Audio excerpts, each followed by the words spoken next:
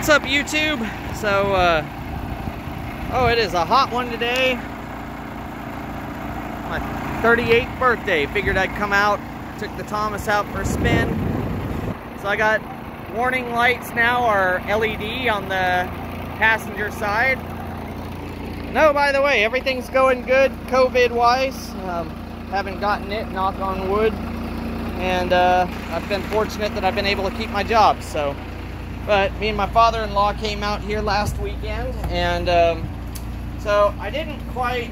This just didn't look as good to me as the old shifter did, even though that's the newer style that everybody knows and loves in the 90s models. The old Quadrastat just looks better. So I put the Quadrastat back in. It looks a lot better. Uh, it just, you know, it's, a, it's got the longer shaft. It looks like, you know, like it should. So but, so we did that.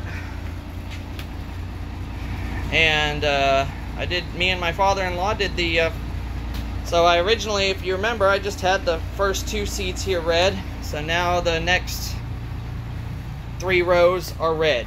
Um, I replaced the seat foams and any of these that didn't have uh, the good back foams that I hadn't changed out. So they all have new seat foams. The funny thing was this one here had some two spots on it like it had been bleached or something, like somebody dropped bleach on it, and they're gone. So I don't know what it was, but I'm happy that they're gone and it looks good. Um, this seat back cover here, if you notice the lines don't follow the curve like this one does, this seat back cover is actually a high back cover. So I may save it for like the back seat or something. Um, I have one more seat back cover in the Thomas and two more bottom cushion covers. But anyway, there's your...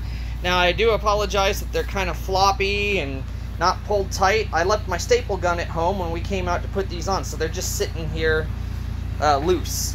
So they'll get stapled soon, I promise.